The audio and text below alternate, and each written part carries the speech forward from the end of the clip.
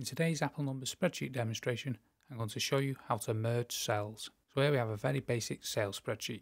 Let's highlight cell A2 and B2. So this is a text and a number. So with them highlighted, you can right click and with the pop-up menu, as you come down, as you can see here, merge cell is not available as you can't merge a cell with a data set with numbers and text. However, if you highlight January, February, March here, you can right click and then come down and select merge cell. You can also merge cells with just numbers in. So let's highlight these first three cells here, then right click and come down and merge cell.